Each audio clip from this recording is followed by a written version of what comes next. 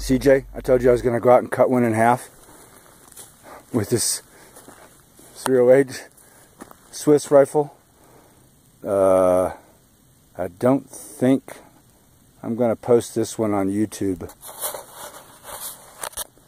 Oh my god. I saw the thing split in half and I didn't really believe it till I walked up to it. Jeez Louise. That's pretty bad. 158 grain Remington. I guess it does cut them in half. Ugh. It wasn't a close shot either. I was back on the other side of the truck back there. I guess it's about 50 yards. Ugh. That's gross. Holy moly. Oh well.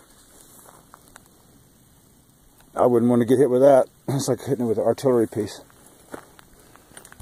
Uh, that's enough.